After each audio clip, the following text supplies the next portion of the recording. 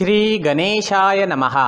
नमस्कार दोस्तों, ये राशिफल चंद्र राशि पर आधारित है। चंद्रमा मन का कारक है।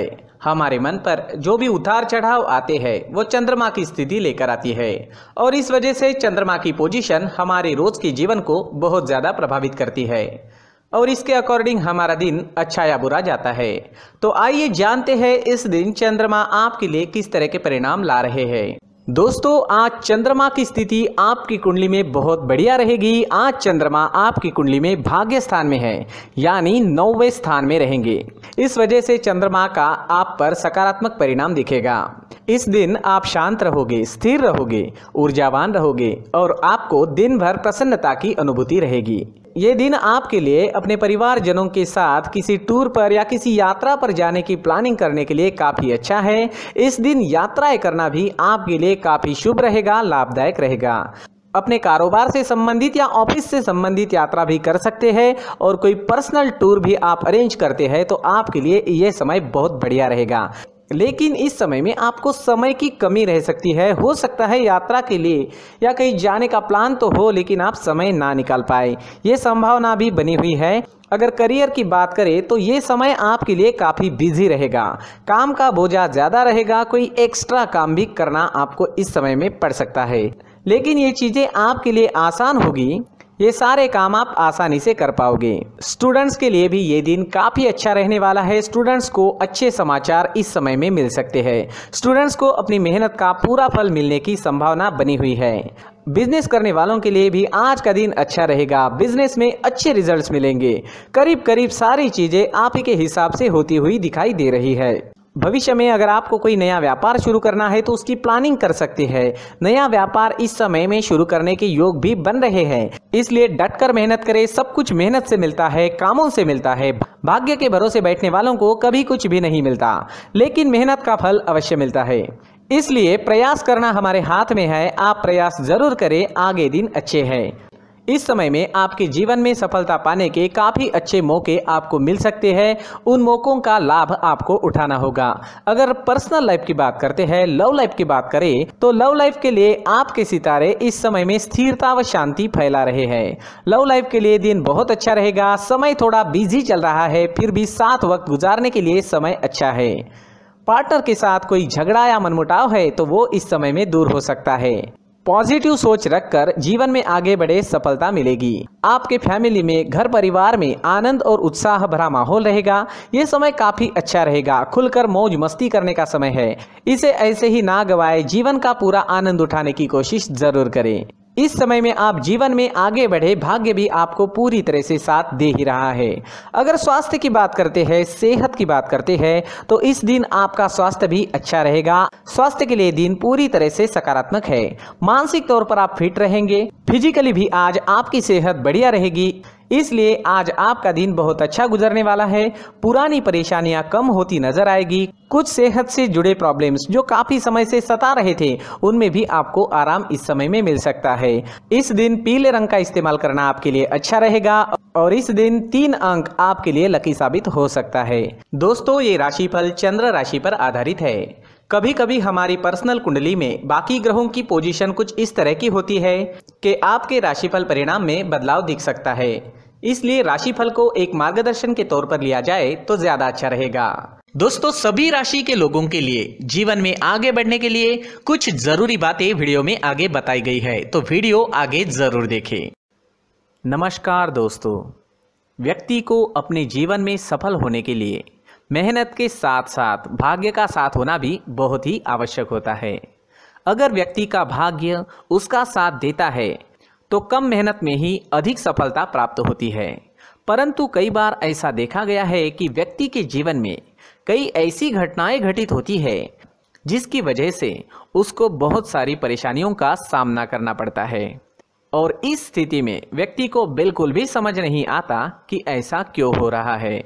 दरअसल, आपके घर में ही कुछ ऐसी चीज़ें होती है, जो हमारे भाग्य को प्रभावित करती है, हमारे जीवन को प्रभावित करती है। और उन चीज़ों के आसपास होते हुए भी हमें वो चीज़ें नज़र नहीं आती, वह चीज़ें हमारे चारों तरफ़ एक अजीब सा घेरा बनाकर रखती है, परंतु हम उसको नहीं देख पाते। इन चीज़ों से हमारे घर में और हमारे जीवन में नकारात्मकता फैलती है, जिसकी वजह से हमें नुकसान उठाना पड़ता है। जिसकी वजह से हमें भारी नुकसान उठाना पड़ता है, हम पूरी तरह से कंगाल हो सकते हैं। दोस्तों, काफ़ी लोगों को इस तरह की आदत होती है। कहीं से भी बाहर से आते हैं, कहीं भी जूते चप्पल फेंक देते हैं, कहीं पर भी उतार देते हैं। कुछ कुछ लोग तो घर के एंट्री के मेन डोर के सामने ही जूते या चप्पल डायरेक्टली उतार देते हैं। दोस्तों, ध्यान रखें, जूते चप्पल हमेशा साफ़ सुथरे रखें और उनको उनकी जगह पर रखें। उनके लिए एक स्थान बनाएँ। उस स्थान पर रखें। अगर कोई व्यवस्था उनके लिए की है तो बहुत ही अच्छी बात है। वहाँ पर उन्हें रखें। साफ़ सुथरा रखें। जूते चप्पलों को उनकी जगह पर कुछ इस तरह से रखें कि वो देखने में भी अच्छी लगे। अगर वो चीज़ें देखने में अच्छी लग रही है तो फिर उनसे निगेटिव एनर्जी उत्पन्न होने की संभावना बिल्कुल भी नहीं रहेगी। तो दोस्तों, इस बात का ध्यान ज़रूर रखें। साथ ही दोस्तों, एक और बात है जिस पर आपको ध्यान देना बहुत ज़रूरी होता है। हमारे घर के छत के ऊपर। जिन चीज़ों का हमें काम नहीं होता है, उन्हें हम घर के छत के ऊपर रख देते हैं। ऐसा करते करते देखेंगे तो घर के छत के ऊपर कबाड़ जमा दिखता है। जी हाँ जो चीज़ें हमें लगता है आगे जाके हमारे काम में आ सकती है, वो हम घर के ऊपर रख देते हैं। लेकिन वो चीज़ें तो काम में नहीं आती, हमारे जीवन पर वो चीज़ें बहुत ही गहरा निगेटिव इफ़ेक्ट डालती है। क्योंकि ये चीज़ें हमें कहीं ना कहीं हमारे जीवन में पीछे रखेगी। इस वजह से घर के छत को पूरी तरह से साफ़ रखें, पूरी तरह से साफ़ सुथरा रखें क्लीन रखें। साथ ही दोस्तों, हम हमेशा देखते हैं घर के ऊपर जाने के लिए जो सीढ़ियाँ हैं, उन सीढ़ियों के नीचे जो जगह होती है, वहाँ पर सामान हमेशा रख दिया जाता है। वो जगह ही ऐसी है कि सामान को खींची लेती है। वहाँ पर आपको कुछ ना कुछ सामान मिलेगा ही। अगर हम सीढ़ियों के नीचे सामान रखते हैं तो हमारी उन्नति होना बहुत ही मुश्किल है। जी हाँ सीढ़ियों के नीचे कूड़ा, कचरा, कबाड़ अगर हम जमा करके रखते हैं, कोई भी सामान रख देते हैं तो उस वजह से माँ लक्ष्मी हम पर प्रसन्न नहीं होती। माँ लक्ष्मी हमारे घर में आने की संभावना बहुत ज़्यादा कम हो जाती है। तो दोस्तों, इन चीज़ों पर ध्यान रखें। हमारे घर की जो सीढ़ियाँ होती है, उनके नीचे की जगह हमेशा साफ़ सुथरी रखें, क्लीन रखें। साथ ही दोस्तों, अगर आपके घर में ऐसी कोई चीज़ मौजूद है जिसका आपको काम नहीं है, जैसे टूटे फूटे बर्तन, आईना, तस्वीरें, इलेक्ट्रॉनिक सामान, सोफा, कुर्सी, टेबल, पलंग, घड़ी, झाड़ू, गमला इत्यादि तो आप इन सामानों को अपने घर से तुरंत ही बाहर निकाल दीजिए, वरना इससे आपको बहुत बड़ी परेशानी हो सकती है। आपको ये चीज़ें कंगाल बना सकती है। तो घर में ऐसी चीज़ों का मौजूद होना शुभ नहीं माना गया है। इससे धन की देवी माता लक्ष्मी जी का प्रवेश घर में नहीं होता है। इन चीज़ों से आपके घर में नकारात्मक ऊर्जा का संचार होता है और जिस वजह से व्यक्ति को मानसिक समस्याओं का सामना भी करना पड़ता है। व्यक्ति के मन में चिड़चिड़ाहट होती है और छोटी छोटी बातों पर गुस्सा आने लगता है।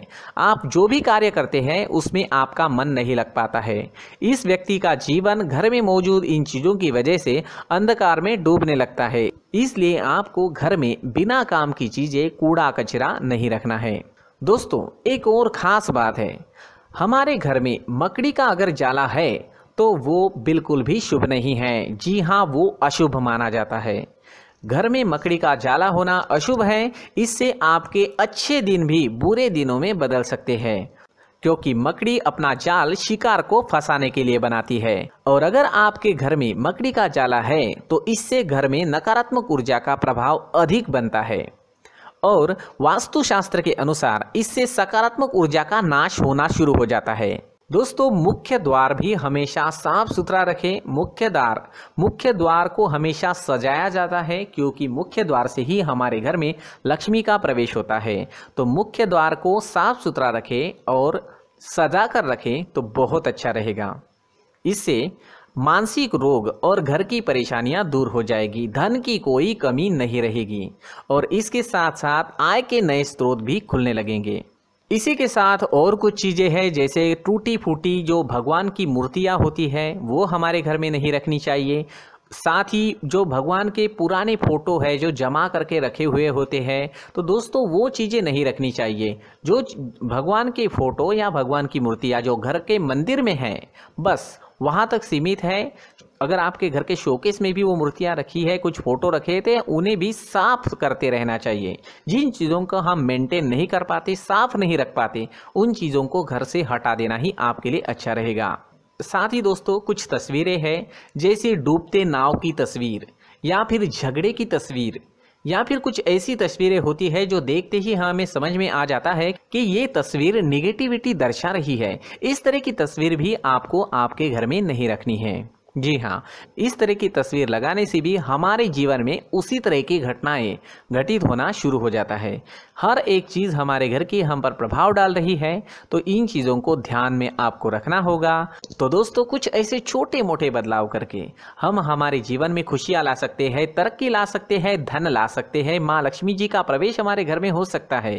तो इन चीज़ों को ज़रूर आजमाएँ। इस तरह के बदलाव आप आपके घर में ज़रूर करें। धन्यवाद।